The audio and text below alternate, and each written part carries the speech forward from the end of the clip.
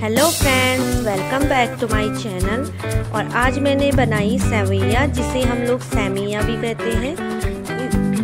इसे कई तरह से बनाया जाता है, नमकीन, मीठा। पर मैंने इसे गाँव में सिंपल तरीके से बनाई मीठी सेवैया और बिना ड्राई फ्रूट्स के। और इतनी टेस्टी हुई कि क्या बताऊँ। वैसे भी गाँव का तो पानी ही कितना टेस्टी होता है कि आप लोग कुछ भी बनाओगे तो स्वादिष्ट ही होगा। तो मैंने चूल्हे में एक कढ़ाई चढ़ाई और उसमें रखा घी और फिर सेवैया डालकर उसे थोड़ी देर भून लिया, जब तक ये थोड़ा ब्राउन नहीं हो गया। और फिर उसमें दूध डाल दिया मैंने, शुद्ध भैंस का दूध लिया मैंने।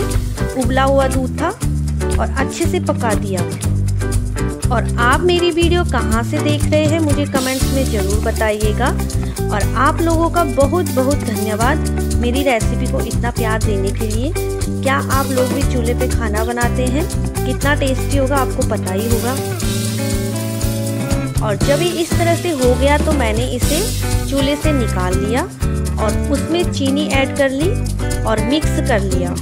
और यकीन मानिए, सबको बहुत अच्छी लगी, क्योंकि गाँव के खाने में एक अलग ही टेस्ट ही आता है। और वीडियो अच्छे लगे तो लाइक शेयर सब्सक्राइब करना ना भूलिएगा।